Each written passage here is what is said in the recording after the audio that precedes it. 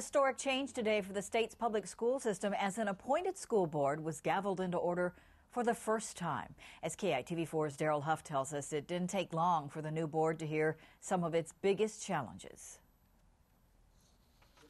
Perhaps not a great sign for open government, the public was excluded for the new board's first minutes in the boardroom. They heard privately from the governor who appointed them. He said they will have to be frugal. Naturally, if, if there was more money available, um, some of those uh, d- uh, decisions might be carried out more easily. Morning. Good morning. Chairman Don Horner, CEO of First Hawaiian Bank, called them to order after complaining they were seven minutes late.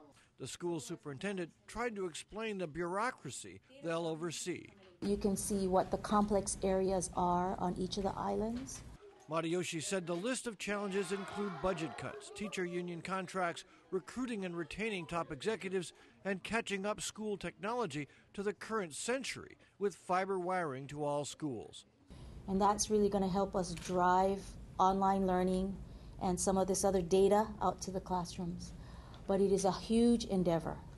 Just one of many huge challenges, the biggest one of all, perhaps, meeting the high expectations of a public that wants to see better schools, and soon. Daryl Huff, KITV 4 News.